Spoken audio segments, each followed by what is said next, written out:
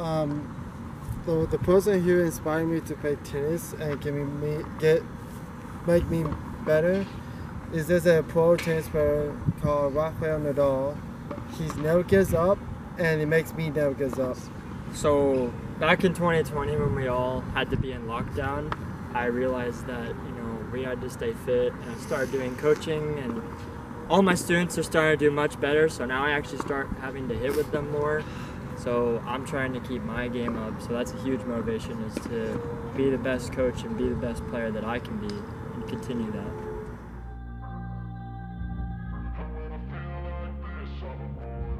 And when I feel like this, I'm immortal. When I feel like this, I'm immortal. When I feel like this, I'm One immortal. experience I would like the most. We went to a summer camp for one summer year at Baylor University. And we were dorm buddies, but and also on the court we try and get better than each other, win more matches than each other. So that's a good experience for for my for my half. Yeah, so I, I remember that experience as well, but probably um, on the friendship aspect, we are also dorm buddies.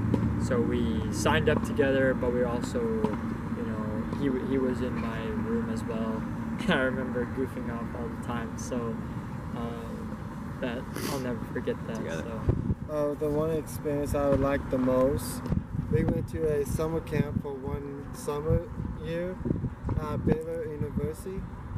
And we were dorm buddies, but and also on the court we try and get better than each other, win more matches than each other. So that's a good experience for for my pay, for my half. Yeah, so I, I remember that experience as well, but probably um, on the friendship aspect, we are also dorm buddies. So we signed up together, but we also, you know, he, he was in my room as well. I remember goofing off all the time, so um, that I'll never forget that. So.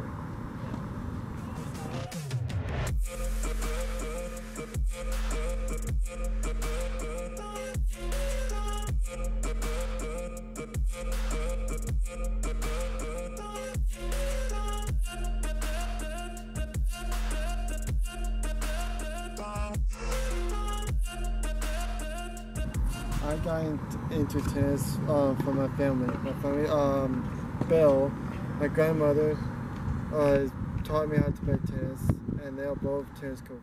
So I remember in 2012, I was watching on TV the Wimbledon final, Federer versus Murray, and that was when I started to figure out that I wanted to play again.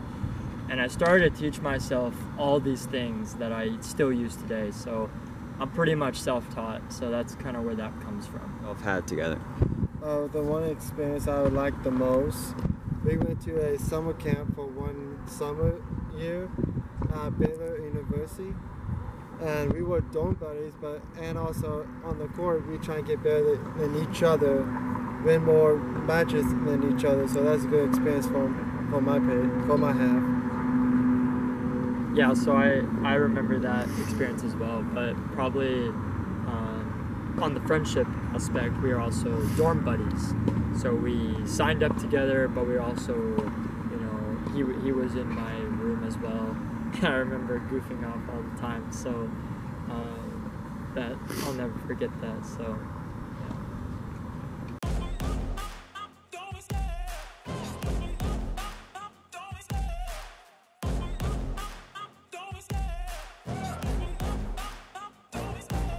Love the chase and the hunt, and I set the pace when I'm running. I always take what I want, and I always give it 100. Don't need a bank, no, I'm funded. Play the game like it's nothing. I'm always thankful for something. Don't take for granted, stay humble. Now wake up!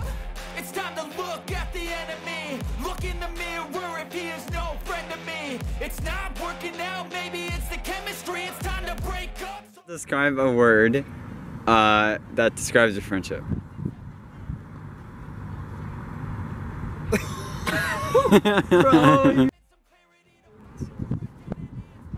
Mine was interesting. Uh, we were both making each other laugh. We're also trying to make it be- um, better. Why we try to get better in, in tennis, we always make us laugh.